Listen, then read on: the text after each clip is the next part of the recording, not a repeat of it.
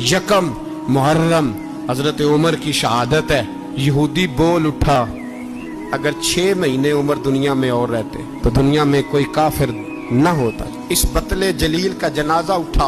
बुखारी पढ़िए ना। अल्लाह बिस्तरे की मौत ना देना, शहादत की देना।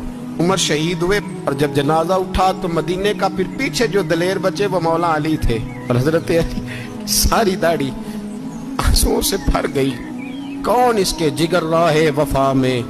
मैं नक्श ऐसे छोड़ आया हूँ, इस मंजिल से गुजरा हूँ, वो अब तक याद करती है।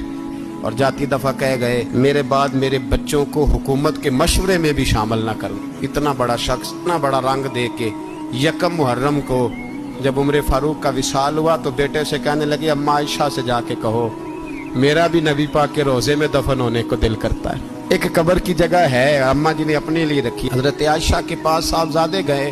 वो कहते हैं, अगर अम्मा इजाज़त दे, सैयद आयशा रो पड़ी। फरमाने लगी कि वो अपनी कबर की जगह तो नहीं ना किसी को देता।